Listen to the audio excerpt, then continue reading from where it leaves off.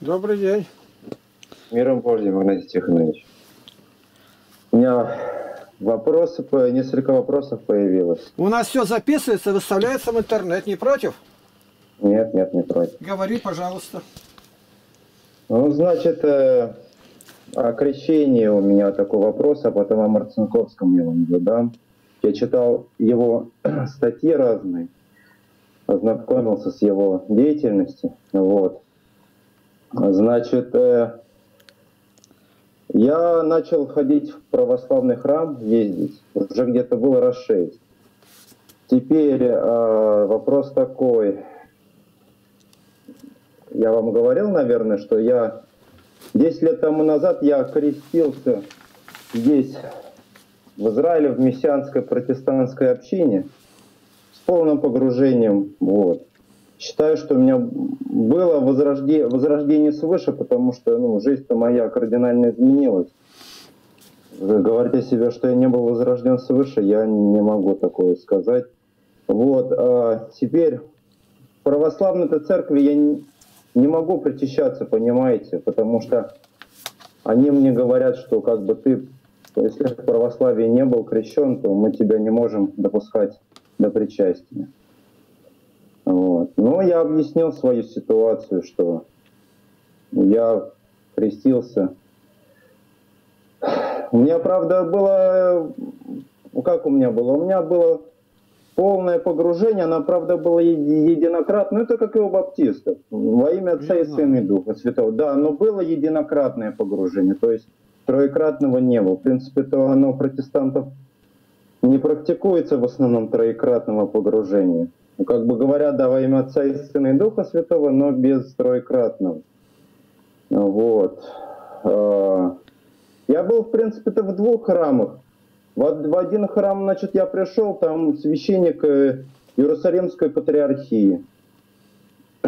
Значит, я ему по телефону звоню, говорю ему, вы, говорю, вы крестите? Ну, просто хотел узнать. э. Он давай разговаривать со мной, вроде как бы, как бы так представился как такой, как бы, что он как бы так ре- ревностен по, чтобы к нему в храм было, больше людей приходили, ну, здесь местных местные русскоязычные, чтобы в храм приходили, чтобы обращались в православие. Но потом он мне говорит, если ты хочешь креститься, 200 долларов надо. Вот. Ну, я, конечно, отказался. Я говорю, а где в Писании такое написано, что за деньги, за, еще за так дорого. Вот. И, и все, он что-то начал нервничать. А где, говорит, где, говорит, это, а как, говорит, здесь местным священникам в Израиле же здесь всего, говорит, 7% христиан от силы. Ну, как бы, мол, эти деньги как бы на, на, на- это самое. Если все типа бесплатно делать, то, то денег не, не будет. Ну, как-то этот вопрос надо по-другому, на- наверное, решать. Как бы вопросы денег, финансов в церкви. Десятина для этого есть. Вот, и пожертвования постоянные. А когда, конечно, десятин никто не дает и не жертвует, то понятно, ничего не будет. Вот, надо с крещений деньги брать из других треб церковных. Ну вот, и я как бы вот, а потом я, значит, пошел, в, посе- начал посещать храмы Московской Патриархии Русской Духовной Миссии. Вот здесь Яфот есть такой город, это Иопия, вот то, что в Деяниях написано. Вот он до сегодняшнего дня этот город сохранился. Вот. Есть современный Тель-Авив и Яфу, это вот древняя Иопия. То есть, вот, и там вот есть храмы русской духовной миссии. Я тоже там со священником поговорил. Вот. Ну, пока что и так с ним как бы... э, Ну, вроде, по крайней мере, он готов меня, самое главное, как бы крестить, если надо, полным погружением, то, что я ему сказал, что я не готов на обливание. Он вроде начал мне, что в церкви и обливание приемлемо, что как бы и это, ну, вроде как бы, ну, я ему сказал, что я не готов, как бы, с обливанием мне это не надо, то есть только полное погружение. У них как бы купили в церкви нет, и вроде начал мне говорить, что у нас тут ничего нету в храме. Вот. И я ему сказал, что я бесплатно. Я не готов за, за деньги, потому что у них как бы на сайте тоже как бы вроде платно, 100 долларов они берут. Как бы если формально у них креститься, все как бы формально все делать, то 100 долларов надо как бы. Ну, он как бы мне говорит, ну это же я ему сказал, ты все, а что? Ему деваться как бы некуда уже. По-другому я никак не буду. Я ему говорю, а как же, говорю, что же за... Я ему за этого священника Иерусалимского патриархата говорю. Говорю, а как же, говорю, меня совершенно бесплатно крестили у протестантов. А вы, говорю, а вы день, православие деньги берете? Он говорит. Ну, ничего мне не ответил на это. И вопрос, на, надо ли мне креститься, как вот, как вы считаете, вот баптисты, которые с вами общаются, да, им, им надо, вот если они в православие хотят обратиться, да, в православную веру, вернуться к древней церкви, то есть надо, надо ли им креститься заново? Ну как бы, как креститься заново? Проходить крещение в православии. Хорошо все до одного баптиста, пятидесятники, кто бы они ни были, не церковные, все крестятся в полное погружение в православие и бесплатно. Вот два условия соблюди. Первое условие, чтобы знал об Иисусе Христе, уверовал, принял его своим спасителем, у вас это есть. Первое есть. А второе, вам просто необходимо поискать и найти. Если вы были где-то недалеко, вопрос решается. Нынче 10 июля у нас будет крещение по Теряевке. И сколько у нас приезжает тут протестантов, даже иеромонахи приезжают, православные, Московская патриархия, они крестятся, уезжают и дальше продолжается жизнь. По-другому никак нельзя. Крещения не было, был обман. А протестанты, они не имели права крестить, они не церковь. А раз не церковь, у него благодати на это нет, он самозванец. Весь сказ. Верит он, не верит, он не... от него это не зависит. В церкви должно быть по херотонии дойти до апостольского времен, от апостольских. Если этого нет, еще и нету. Теперь деньги не платить. Вы заранее ему скажите. Это симония. Вы как-то неопределенно так говорите, как мямля какая-то. Вы четко и ясно напишите и покажите. Возьмите наш материал, выпишите к истинному православию. Вот места, которые говорят в Писании. Я прошу покрестить меня. И все. То есть приходи. Ну, ну я-то говорил за, за Симонию, я так, говорил дальше. за... Женя, дальше. А сам для себя положи. Десятину не платил, заплатил там 100 долларов или тысячу, не имеет значения. Сколько у тебя будет возможность. Десятина должна быть заплачена. И ты придешь после этого священнику отдашь. За крещение я не могу платить. Это делает таинство недействительным. А деньги, скажи, сколько есть. Я десятиной вам заплачу потом, но к крещению никакого отношения это не имеет. И все. Вы можете даже сказать ему. Действительно, ему на что-то надо жить. Он работает, трудящийся своего пропитания. Вы ему объясните это. Четко, ясно. Говори, как имеющий власть над самим собою. А вы сразу только подошли и уже подстраиваетесь под него. Я вот не могу, да меня там крестили. Четко и ясно. Я пришел в православную церковь. Испытайте меня и крестите. Денег давать не буду. Чтобы он сразу понял, что перед ним стоит человек сознательный, великовозрастный муж, и с ним нужно разговаривать серьезно. А он я не буду. Я вынужден буду обратиться к патриарху, чтобы меня патриарх крестил. И рассказать, что везде требуют деньги. Это симония. Симон Волх требовал. И все. Я узнал, сколько сто. Ну, два-три месяца у меня пройдет, я приду, я заплачу, потому что вас надо поддержать, у вас семья может быть. Это так. Но я ни копейки не могу дать за крещение. Оно его делает недействительным. И все на этом. Он что, не, не понимает разве? Ну, не совсем же бестолковый-то. Я скажи больше дам, 120 долларов. Но только как десятину, то, что Бог повелел отдать. Святой Бог, святую десятину от святого человека.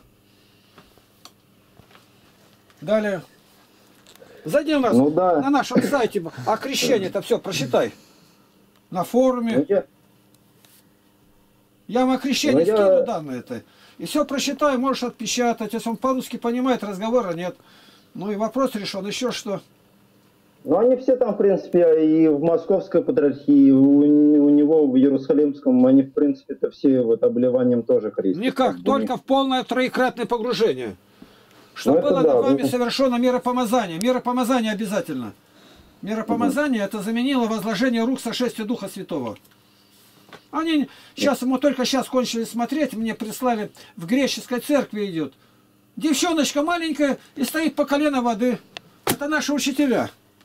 А там народ полураздетый, мужчины в галстуках там совершенно как на улице, ну, красиво, интересно, волосы подстригает там.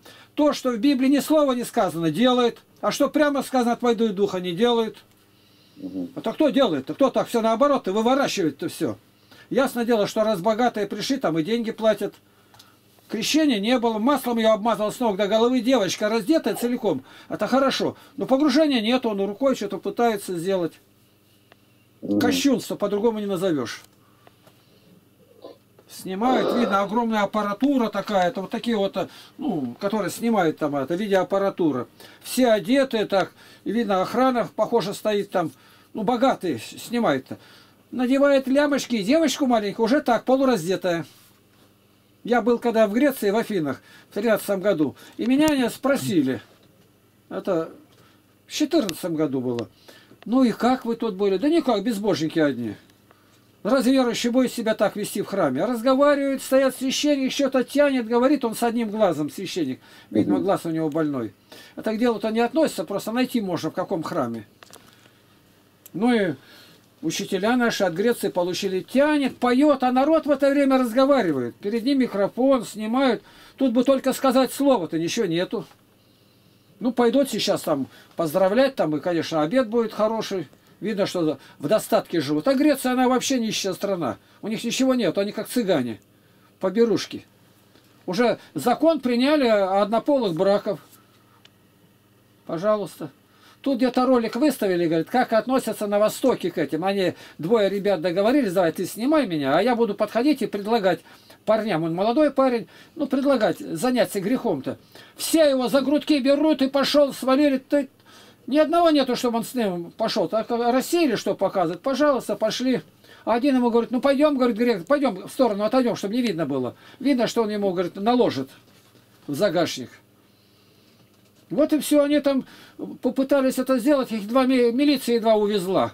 Показывает, как там священники там бежали, этих гомосексуалистов, садомитов зажали, они не знали, куда деваться. Все. Почему они в Судане, в Тунисе этого не делают, у ИГИЛа не делают? Потому что одного нашли и там какой 15 этаж или какой бросает вниз, он летит и все кончилось.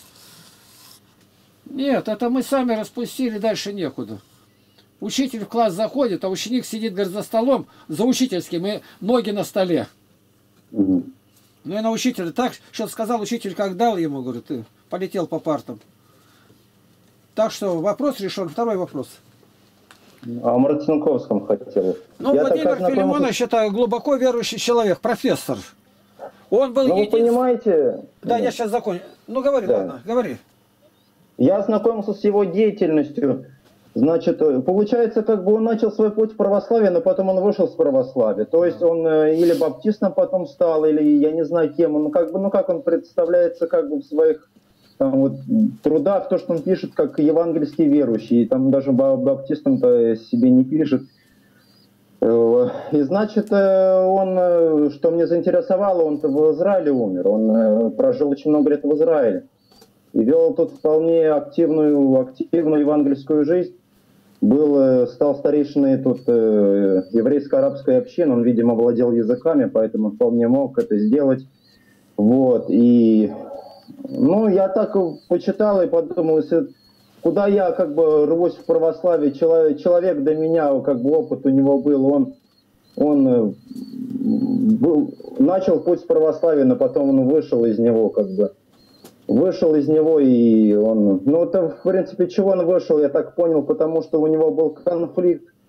Он отказался от где-то крещения, то есть он... Э, то, есть даже такая статья «Крещение взрослых и православие», где он поясняет, что даже святые отцы, все Иоанн Златоуст, все, все отцы, они были крещены взрослыми и, э, и ссылается на то, что их родители всех были христианами, и да. они крестились только взрослыми.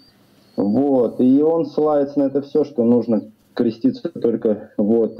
Ну и он не вернулся, в итоге он не вернулся обратно в православие, то есть здесь он и в Израиле, он, я не знаю, как, что это за община у него здесь была, конечно, если бы он был живой, я бы, конечно, поехал к нему бы так пообщаться, познакомиться, но его, конечно, он в 71 году уже умер.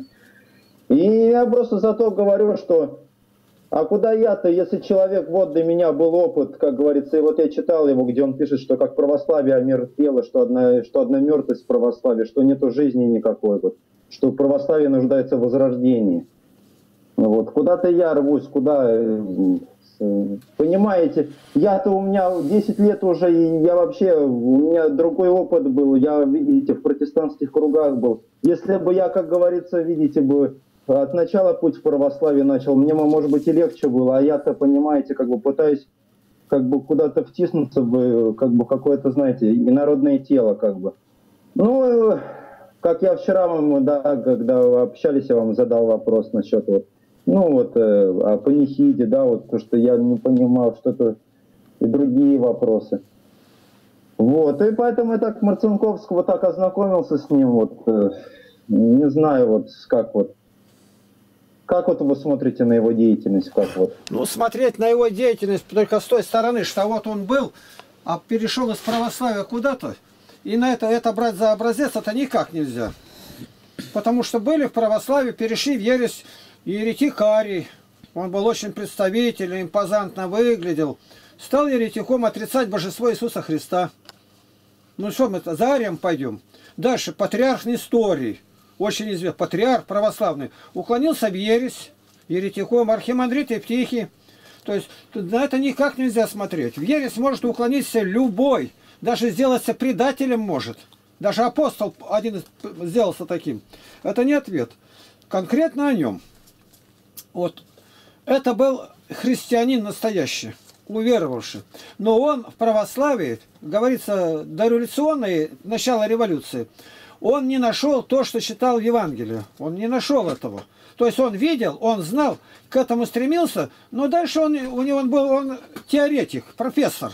Он не практик был. Как бы был практик, он бы работал. Работал с людьми, говорил, сколько обращенных у нас сейчас есть.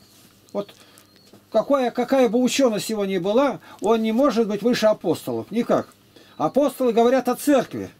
А там, куда он пошел, церкви нет. И, видимо, это побудило его в конце вернуться обратно. У него есть интересное выражение. Вот. Его, вот у меня трехтомник вышел, толкование Нового Завета.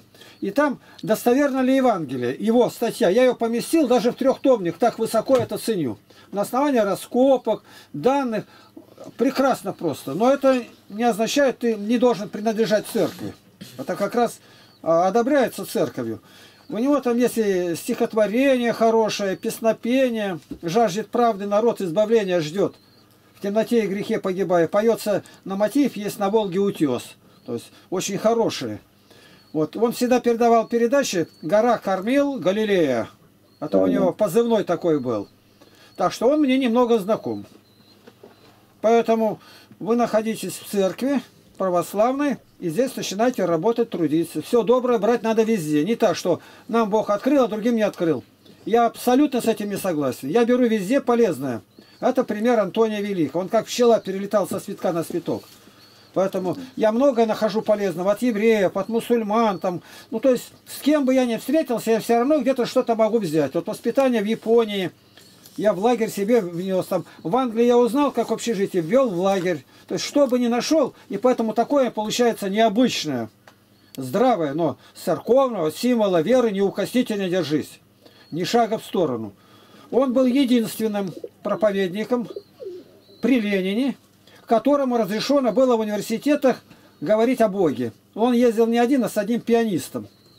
Он же интересно рассказывает, как однажды он говорил, один студент вышел и стал колобродить. Он говорит, что же я ему буду отвечать, Господи, помоги. И вдруг студент смехнулся, постоял, махнул рукой и пошел со сцены, ничего не надо было отвечать.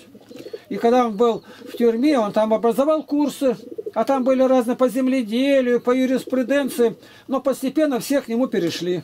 Он из камеры в камеру ходил. Он замечательный был человек. Ну, понятие о церкви было у него никудышное. Вне церкви нет спасения, вне церкви, а церковь там, где рукоположение. Был бы он католик, я бы слова не сказал. Григорян Армян был копты сирийцы, я бы ни слова не сказал, но он был вне церкви. А тогда было прохановские, евангельские назывались. Видимо, он им принадлежал, не баптистам. А там вообще отрицали крещение. Вообще. Сказать, баптисты признавали первое время детское крещение. А что, что учителя святые были крещены в таком возрасте, это еще и не говорит о том, что все было правильно. Они были крещены правильно. Но мы должны найти то, что предшествовало этому. Апостол Павел Колоссянам говорит, вы обрезаны, вы, христиане, обрезаны обрезанием нерукотворенным, совлечением греховного тела плоти, бывших крещенных. То есть ветхозаветнее обрезание прообразовало новозаветнее крещение. Прообразовало. Это ну, предшествовало. Как эти ягненок указывал на Христа. То есть все имело какого-то своего притечи. Ветхий Завет был нянькой, тенью будущих благ, тенью. А как крестили? Восьмидневный возраст. А как? Заключение в завет, вхождение в число сынов Израилевых. А дух он не понимал, и сегодня не понимает. Крестился он и весь дом. Везде. Стефан, стражник, который начальник тюрьмы, крестился, весь дом его. Дом там Корнилия, весь дом. Крестила Лидия, то есть все весь дом. И все. Они бездетные были. Сомнительно, чтобы все сто процентов в Израиле были бездетные. Очень сомнительно. И мы это знаем, что в Израиле не одобрялись аборты. И поэтому весь дом. Притом, если бы один раз было сказано. А когда мы смотрим весь дом в Ветхом Завете, наказан весь дом Ахава был. Значит, весь дом под метелку. И маленьких, и больших всех под нож пускали. Ахана дом весь туда. Поэтому это было всегда. Все. Все, которые были. Так что ответ простой, да. Об этом говорит Дмитрий Смирнов, что если родители неверующие, ребенка крестить не надо. Крестить только там, где по-настоящему верующие, которые будут его воспитывать. А почему? Церковь это ковчег. Это в первом послании Петра, 3 глава, 21 стих говорит. Это ковчег, корабль. А если э, наводнение будет, ты ребенка возьмешь с собой в корабль? Да, конечно. Я как-то у баптистов выступал. Ну и тоже говорил, она ребенка держит. Я говорю, вот сейчас, если коснулось бы, вот, Господь вам явился и сказал бы так и так, что будет наказание, ребенок умрет. Вы бы поверили? Ну да. А он не в корабле, он не спасет. Да я его сегодня, говорит, крещу. Она встала, говорит, я его сегодня же крещу. И весь сказ. Тебя коснулось. А относительно отпевания, это обряд всего лишь, это не таинство, ничего. Верующий в Сына Божия имеет жизнь вечную, неверующий не увидит жизни. Все. Верующий, значит, ты соблюдающий заповеди, принявший крещение. Вот вам ответ про Марсенковского. Я Сергея Журавлева слушал, как он вообще говорит. Ну, вы знаете он говорит, что он э, у себя там вот в его реформаторской православной церкви устранил этот обряд, он говорит, мы молимся только за живых. То есть он вообще полностью отстранил. Это его дело, он еретик, он архиеретик. Его клоуном все зовут. Он был в Костромской епархии священником, еретики на него там руки положили, он стал епископ, архиепископ, и все перед евреем заискивать, шляпу наденет, и неприятный человек. Но говорить есть вещи, которые полезны. Вот вы сказали, мы только так за... У нас молятся только за верующих, которых мы знаем. В церкви панихиды у нас никогда не справляется по неверующим. Так что мы тут против ничего сказать не можем. Верующие. Почему? Потому что помяни раба твоего. А какой он раб, когда ничего нет? Так что вопрос решается очень просто. Ты христианин, вопросов нет. Нигде ни за что деньги не платить. Десятину отдай. Что-то еще интересное, когда вот я с этим священником разговаривал, с э, Иерусалимской патриархии, значит, он мне говорит, если бы, говорит, ты был лютеранином бы или э, с англиканской церкви, то есть э, с традиционной протестантистской церкви, которая вот самые первые были церкви, эти лютеране, англикане, потом там э, кальвинисты и так далее. Он говорит, я бы тебя бы не крестил, только мира, мира бы помазал бы тебя. А так как, говорит, ты уверовал, говорит, в харизматической общине, то я, говорит, тебя вынужден крестить, если ты придешь ко мне. Вот. Ну, что, разве они имеют какое-то апостольское преемство? Никакого. А вот англиканская церковь, тут под сомнением, они доказывают, что в них хиротония идет от апостола. Кто там, Варфоломей или кто был? И перед революцией стоял вопрос об объединении с ними, православия. Так что она приезжала к нам, одна из англиканской церкви была, но они доказывают, у меня нет основания противоречить. Но у них сейчас будто бы женское уже там пошло священство, поэтому это категорически неприемлемо. Никак. Никак. Угу. А про других и говорит, а кто такой Лютер? Да еретик, самый настоящий стопроцентный еретик. А он был епископ, ни одного дня на епископом не был, это лгут. Он был монах, может, потом и где-то священником стал, это трудно теперь сказать-то. А он не мог никого рукоположить. И что он сделал? Для народа сделал он очень хороший, перевел на родной немецкий язык. Он большое дело сделал. А дальше был монах, сам себя размонашил. Ты обещание-то Богу давал. Взял монашку, женился, шесть ребятишек нажил. Это кто это? Богоотступник. Ты Богу посвятил себя, умри, но с места не сдвигайся. Бог на небе, а ты на земле. Смотри, чтобы он не разрушил твое дело. Так говорит Святая Библия. Дал слово, значит, вопросов нет.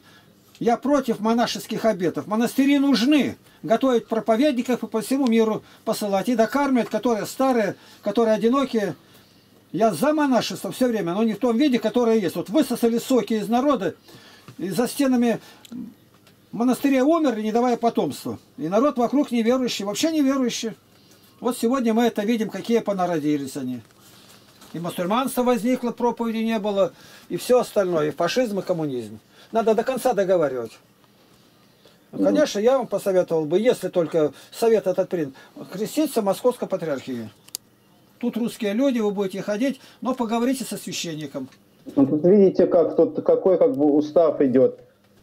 В Московской патриархии, чтобы мне креститься, мне нужно разрешение или благословение Иерусалимского патриархата, потому что это их канони... канони... каноническая территория. Ну, вот. Ну, пускай, возьмите. То есть мне, вот даже есть, вот на сайт заходишь, когда русская духовная миссия в Иерусалиме, если можно, да, креститься в э, Московской патриархии здесь, в Израиле, но надо, есть такой бланк там в интернете, ты его заполняешь и отсылаешь в патриархию в Иерусалим. Ну, сделайте так. Что, от, вот, от вас они, ничего... И они, и, и они должны прислать ответ, да. что да, да, что патриарх благословляет. Вот. И тогда я вот беру вот, вот это вот вот это вот документ вот этот вот, а да. а, и, значит, с ним я иду уже тогда. Ну сделайте, от вас не будет это дело. Какой порядок есть в этой земле, его надо соблюдать. Да. Ну а если откажет, какой? Нет при, таких признаков, чтобы отказал. Но если откажет, на нем не закончилось все. Креститься можно, может быть там греческая даже есть православная. А... Хотя вот этот э, священник русскоязычный Иерусалимского патриархиона, я с ним говорил за за полное погружение. Он говорит, ну да, он говорит, только если соверши, совсем правильно креститься, то только полным погружением. Я как бы тебя, тебя могу крестить полным погружением. Ну, когда вот, видите, вопрос зашел за деньги, то Никак. тут у нас так, связь все, Вопрос решен. Котша не говори да, больше. Все, да, Никому да. и не говори, что он просил-то. Они так понимают, что они делают это неправильно. Ну, вот такой да. путь. Безболезненный, правильный, божественный обратись к патриарху, разрешение получили, и найди, пойди, где... Ты сначала посмотри, какой сосуд там будет. Или где-то на реку пойди, на Иордань, там куда угодно можно пойти. На море. В Афоне там крестят прям сразу в море. Мы знаем, где князь Владимир... Ну, море это, конечно, ближе тут. А крестят на Иордане, это в основном-то есть. Ну, найди, чтобы там полное погружение было, чтобы у вас вода сверху была еще. Да, конечно, полный. Я был там, там и есть специальное место, но только для крещения. Там выдают белые халаты специально крещальные. Да, да, да. Так, еще Все, что за вопрос у вас? Какие? Ну, еще вопрос вот, почему вот, э, вот смотрите, в протестантизме, да, когда вот какая там практика идет? Значит, как вот у меня было. Когда меня крестили полным погружением, на меня старейшина общины возложил руки на меня и помолился, чтобы, э, чтобы я принял Духа Святого. Вот. Вы говорите, что в православии руки не возлагает, чтобы, чтобы, чтобы новообращенный принял Духа Святого. То есть его только... Его ми, ми, Мажут э, миром. А если епископ, епископ может возложить руки. Епископ. Тут строго... Почему нет рука... Каноническое, Почему да. нет руковозложения? Да, и руковозложение на него, вот как воин Ясенецкий делал, то у него мира не было, а потом говорит, да я еще, я же сам епископ-то забыл, говорит. Возложил руки тогда, чтобы сошел Дух Святой. А священник это не может сделать, это только может епископ сделать. может? Почему не может? Ну, у него мира, если он может помолиться и руки положить, почему же нельзя-то? Это любой может сделать. Вы поговорите с ним, скажи, когда помажете меня миром, положите на меня еще и руки угу. что благословите меня вашим иерейским благословением. Все, я понял. Да. Еще что? Ну все, ну все, в принципе, все, все пока вопросов. С Богом? Да. Давай, не унывай, делай, да. как поговорили, правильно, и немедли, а то можно умереть без крещения. Богу слава. Да, да. Во славу Божию. С, с миром Божьим, Игнатий. Спаси Христос. Простой, простой он. Просто не знаю, как простой.